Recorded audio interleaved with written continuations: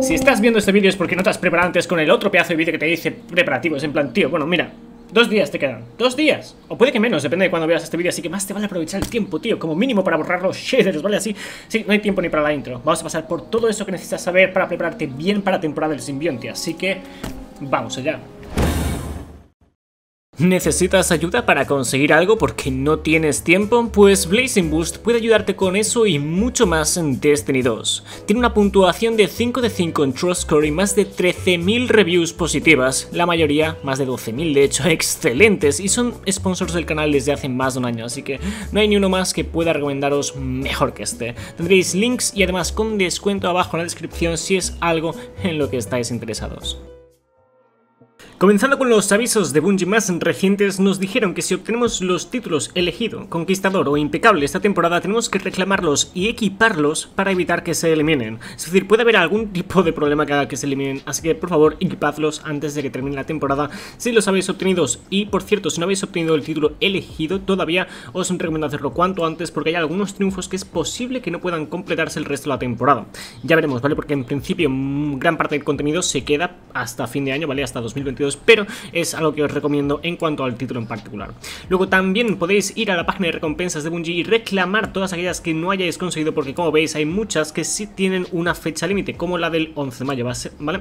Así que iros a la página de bungie.net, ingresad vuestra cuenta y canjead todas esas recompensas que tienen fecha límite. Luego aquí podéis ver las fechas y las horas de la descarga del 11 de mayo, ¿vale? Podréis ir al link abajo en la descripción para visitar el esta semana en Bungie con esos horarios por si queréis traducirlos a vuestras horas en particular. Ahora, uno de los cambios más importantes la próxima temporada, si no el que más, es que van a retirar la caducidad de las armas y armadura y cualquier cosa que haya llegado al nivel máximo se va a poder seguir subiendo de nivel, salvo lo que ya caducó. Respecto al nuevo sistema de nivel nos dijeron, a partir de temporada del simbionte solo aumentaremos el límite de poder en 10 puntos para las temporadas que no vengan con una expansión nueva, es decir, si alcanzáis el nivel de poder máximo en temporada 13, cuando salga la siguiente temporada os encontraréis a tan solo 10 puntos del límite de poder hito. Ese aumento de poder debería resultaros familiar si jugasteis temporada del alba, por ejemplo. Así que sí, será menos difícil llegar al nivel máximo la próxima temporada. Ahora, pasando al resto de, consejos. Completad todos, todos los desafíos que podáis para haceros con todo el polvo luminoso antes de que llegue la próxima temporada para gastarlo en esos ricos nuevos cosméticos, ¿vale? Y por cierto, esto lo grabé hace tiempo, ¿vale? Por eso veis que no lo tengo, pero ya lo tengo prácticamente todo hecho para poder gastar ese polvo eh, la próxima temporada. Igual que el sello, ya lo tengo completado, os estoy enseñando algo de gameplay anterior, pero pues eso, os recomiendo completar el sello, ¿vale? Y equiparlo antes de que termine la temporada, como ha dicho Bungie, para que no se elimine y para que no tengáis ningún tipo de problema. Luego respecto al pase de temporada os recomiendo guardar todas las recompensas posibles para reclamarlas la próxima temporada desde la página web que veis de fondo en pantalla. Os voy a dejar un link abajo en la descripción y básicamente esta os permite reclamar todas las recompensas que conseguisteis la temporada anterior pero que aún no reclamasteis y solo funciona con la anterior, así que si os queda cualquier cosa de temporada de la caza, cogedlo ya de ya, ¿vale? Y luego guardar el link o el vídeo para reclamar las, eh, las recompensas de temporada de los elegidos cuando comience la temporada del simbionte. También los engramas de perverso, exóticos y armadura son de lo más útiles al inicio de temporada para subir de nivel, ¿vale? Así es que no se actualiza, ¿vale? Así que guardad todo eso por si toca algo nuevo, ¿vale? De cualquier modo no perderéis nada del pase y lo podréis reclamar desde ahí. También recomiendo mejorar al máximo un martillo de demostración. Tener todas las recompensas posibles ah, antes de que termine la temporada, ¿vale? O sea, tenerlo bien ready, ¿vale? Porque, como he dicho, muchas de las cosas y actividades se mantendrán hasta Reina Bruja, probablemente el martillo y el reconfigurador prismático, los engramas umbral se van a quedar, ¿vale? Así que lo ideal sería tenerlo todo al máximo antes de comenzar la próxima temporada, para empezar bien. Ahora, hablemos de ahorrar y apilar materiales. Para empezar, ya no es necesario que mejoréis piezas de armadura o armas, ya que la próxima temporada habrá un nuevo nivel máximo, así que os recomiendo guardar todos los siguientes materiales, que son lumen, fragmentos de leyenda, núcleos de mejora, módulos de mejora, prismas de mejora, fragmentos ascendentes, materiales planetarios, consumibles que otorguen lumen, núcleos, etc.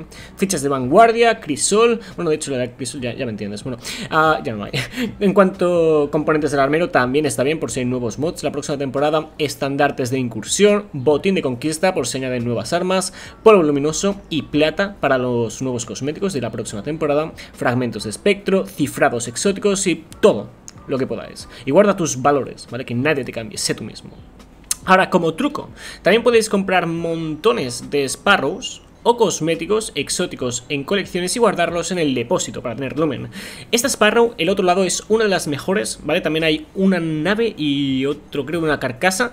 De hecho, hay más cosillas. La nave de la derecha, Turbo and Series, creo que también funciona. Básicamente te permiten comprarlo a un precio y luego te lo devuelven casi, casi todo, ¿vale? Así que es una muy buena forma de guardar lumen cuando estás al máximo y estás consiguiendo lumen y no te, no te lo guardan, básicamente. Así que compras unas cuantas y sigues farmeando. También borrar cosas innecesarias del depósito, lógicamente todo eso que está cogiendo polvo que no lo vas a usar, bórralo ya, ¿vale? Estate bien ready para empezar la próxima temporada. Y muy atentos, los shaders también, ¿vale? Y en cuanto a los shaders, os recomiendo borrarlos ya. ¿Vale? Ya o mañana, ¿vale? Antes de que empiece el mantenimiento de, la próxima temporada, ¿vale? Para que no os pille por sorpresa. Así que sí, o sea, 100% vais a sacar montones de materiales, fragmentos, lumen, así que así estaréis bien preparados para la próxima temporada y no os los quitarán, ¿vale? Porque os recuerdo que básicamente os lo quitan a principios de próxima temporada, los shaders, porque cambiarán, ¿vale? O sea, estarán desbloqueados permanentemente, así que aprovechad todos sus materiales antes de que os vuelen. También recomiendo checar la araña para farmear otros materiales si te sobra fragmentos de leyenda, ¿vale? Si tienes 1000, por ejemplo, puedes comprar al menos para tener 100 unidades de cada material. Eso sería lo mínimo recomendado. Y ahora pasando a contratos, desafíos y recompensas que guardar prácticamente todas, ¿vale? Los contratos semanales son los que más recomiendo y puedes obtener semanales de Europa, el Cosmódromo y la Luna también de caza de pesadillas, por cierto. Los de juegos de guardianes es posible que cuenten también, yo personalmente los voy a guardar, a ver. Los de estandarte hierro, si es que aún los tienes, también recomiendo guardarlos. Los contratos diarios que puedas y luego si te queda espacio, pues algún repetible, ¿vale? Y luego completar desafíos de todo tipo durante la semana para tenerlos ready para la próxima semana. O sea, el objetivo es tener el inventario repleto de contratos completados, si podéis con los tres personajes, priorizando tener todos los contratos semanales posibles, los del estandarte si es que los guardáis aún, a los diarios, además también de la última semana completar todos los desafíos como el de Hawthorne, Zavala, el Nómada, Shax, el Armero, ta, sin reclamar las recompensas, ¿vale? Para que os las den la próxima temporada. Cuando los que juguéis pruebas de Osiris o no, bueno, básicamente os recuerdo que este fin de semana están dando cañones de mano en la tercera, quinta, séptima victoria y como impecable experto, ¿vale? Así que hacedos con ello porque muy probablemente la próxima semana, ah, bueno, perdón, sí, semana y temporada cambien las recompensas y ya no se encuentra en rotación. Es posible, ¿vale? Así que os recomiendo eso, igual que Precio Sombrío, que está actualmente como caso y la próxima temporada desaparecerá, ¿vale? Y ya, ya veremos cuando regresa, pero por ahora, si no lo tenéis, os recomiendo haceros con él antes de que desaparezca. Luego, ay, por cierto, también habrán tres nuevas armas de ocaso que regresan de Destiny 1, ya hablamos de ello, checaos otros vídeos, pero continuando con los consejos, al iniciar la nueva temporada recomiendo que os aseguréis tener un espectro con el modificador que aumenta la experiencia en más 12%. Y también, por cierto, reclamar el artefacto de temporada antes de entregar los contratos para una mayor eficiencia y un mayor boost de nivel de poder. Y luego reclamar las recompensas del pase de temporada de los elegidos desde la web tal y como os expliqué, os dejaré el link en la descripción.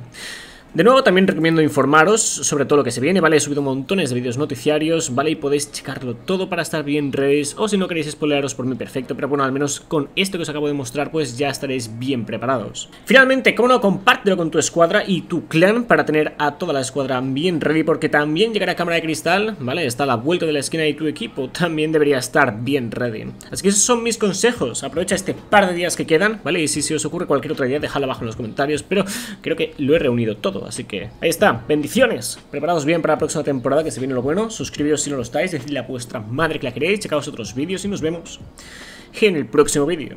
Bueno, otros subas a checarlo. Adiós.